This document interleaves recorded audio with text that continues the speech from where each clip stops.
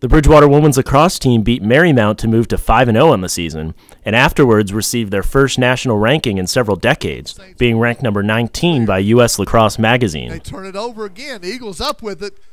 Fast break opportunity here.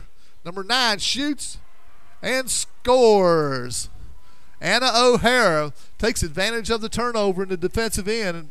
Free position attempt for the Eagles. Neal, shot, score. Bridgewater, Dwyer Neal with the goal, and that'll make it 9 6. Bridgewater leads.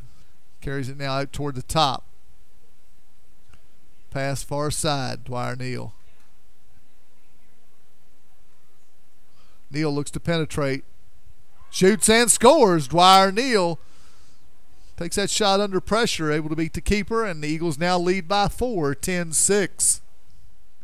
O'Hara looks for a cutter, unable to connect on that pass, but the Eagles come up with the loose ball.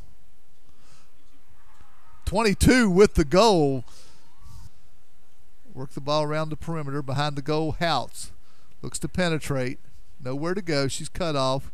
Gets it to Yashinsky. Welsh far side. Rogers goes one on one, and Shannon Rogers with the goal